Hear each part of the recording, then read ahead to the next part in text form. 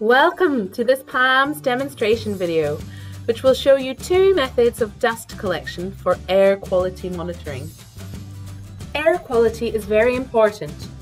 Lots of fine particles, which we often call dust, can be bad for animal, human health and the environment. Dust can cause breathing problems, irritation to eyes and even non-fatal heart attacks. Depending on the type of particles, they can also mix with water and create acid rain. Air quality can be particularly bad in built up areas where there's lots of fossil fuels being burnt. Bushfires, drought and blasting from mining can lead to lots of ash and dust in the air.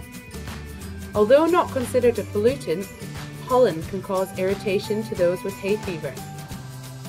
However, air quality indoors can surprisingly be worse than air quality outdoors. Some of the main causes of dust inside are shedding skin and hair, which sounds gross, but every animal does it. For our first method of dust collection, you will need plain paper, a marker pen, a set square or ruler, petroleum jelly, a cotton bud, thick transparent plastic such as acetate sheets, if you have a magnification device, such as a microscope or magnifying lens, then you'll be able to see a lot more. And a camera is also optional. The first step is to mark out a grid on your acetate. Put it on top of the plain paper to make it easier to see. Use your ruler to mark out your grid area and then start to create the grid by marking every centimetre along the top and the bottom. Connect the marks together to create a series of vertical lines. Do the same on the sides, drawing on horizontal lines to thus create a grid. Draw out a few more grids the same way so that you can stick them all in different locations. Use the cotton bud to wipe the petroleum jelly over the grid. The dust will stick to this now.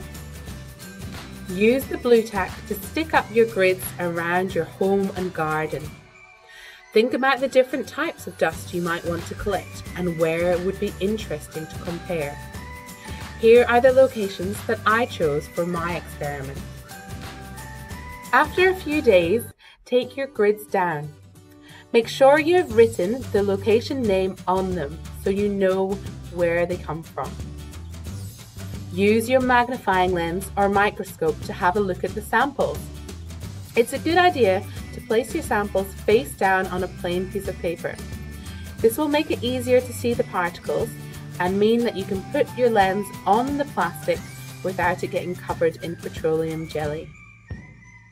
Compare your samples. Which sample had the most dust?